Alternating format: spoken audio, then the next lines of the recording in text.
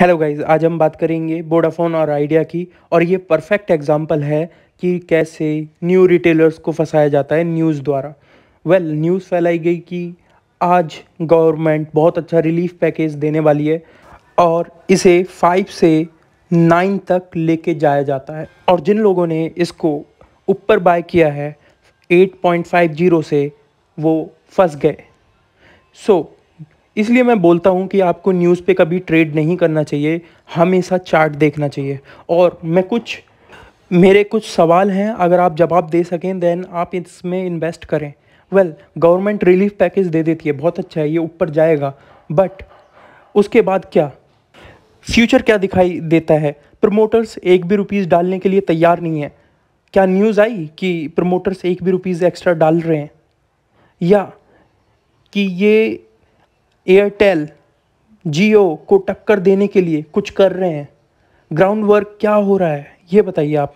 या लोग idea Vodafone के सिम ले रहे हैं क्योंकि उनको सर्विसेज़ अच्छी लगने लगी हैं। वेल well, जब तक ग्राउंड वर्क कुछ नहीं होता जब तक आपको ये बाय नहीं करना चाहिए। बट आपको अगर न्यूज़ पे बाय कर रहे हो तो आपको पता होना चाहिए कि कब बाय करना है और कब बेचना है।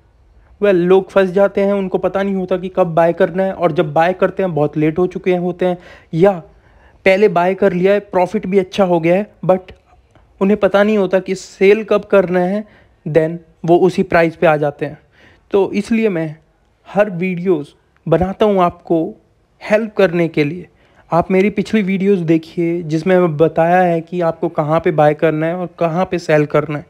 और मैं एक प्लेलिस्ट बनाऊँगा जिसमें आपको बताऊँगा कि कहाँ चीज़ें बाय करते हैं कहाँ पे सेल करते हैं जिससे आपका फ़ायदा होगा। अगर आपको प्रॉफिट नहीं होता है तो अनसब्सक्राइब माय चैनल और किसी और का चैनल सब्सक्राइब करिए जिससे आपको प्रॉफिट हो।